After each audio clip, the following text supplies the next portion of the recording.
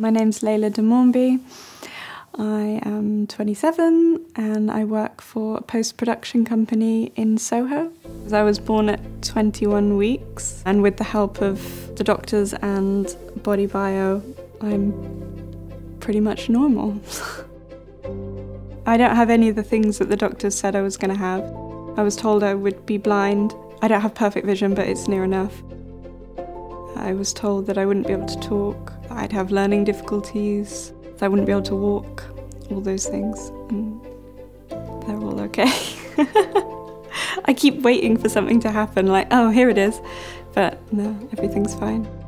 I have a really tiny belly button. That's about the only thing that I could think of that shows how premature I was. Because I guess I had a really small umbilical cord, so it would be really tiny. It's kind of mind blowingly special in the sense that when I look at the pictures and when I hear people talk about it who were there, it's an incredible thing to know that I went through it and that everyone around me went through it and that you can fix something that seems unfixable.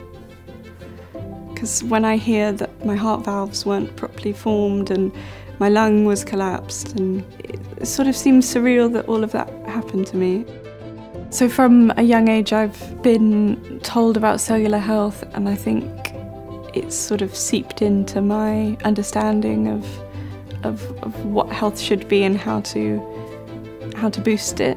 It makes total sense to me that if you fix something on a cellular level or if you give nutrients to your cells, then you can achieve a sort of higher level of health. So I've been taking BodyBio supplements all my life and it's a brand that I've trusted for 27 years. I think they're great.